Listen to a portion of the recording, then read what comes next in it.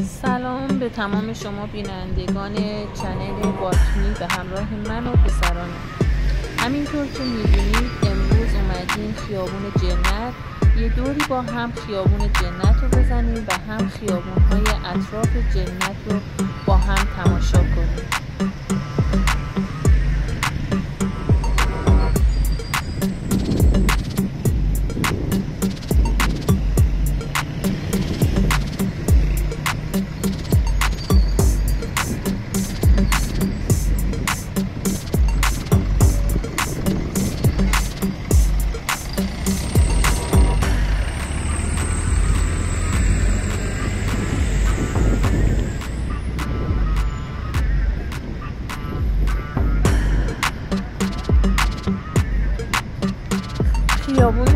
جنت جز خیابوناییه که تقریبا میشه گفت مرکزیت شهر مشهد رو داره.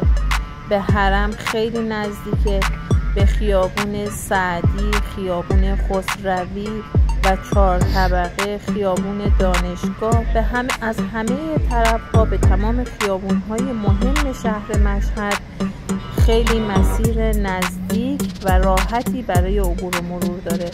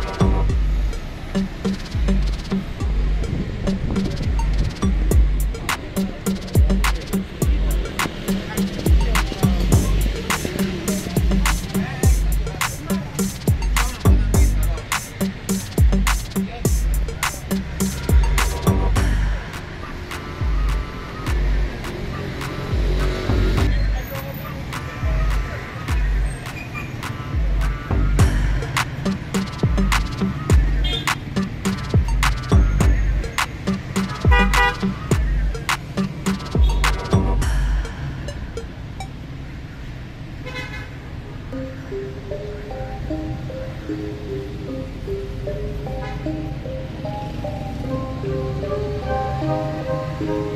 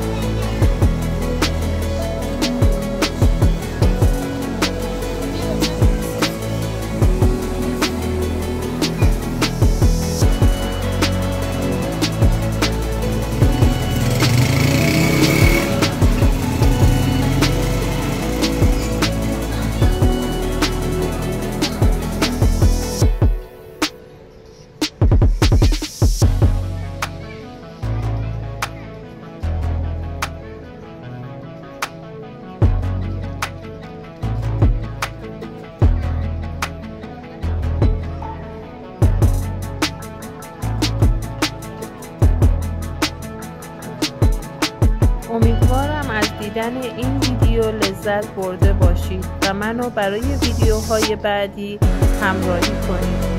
متشکرم.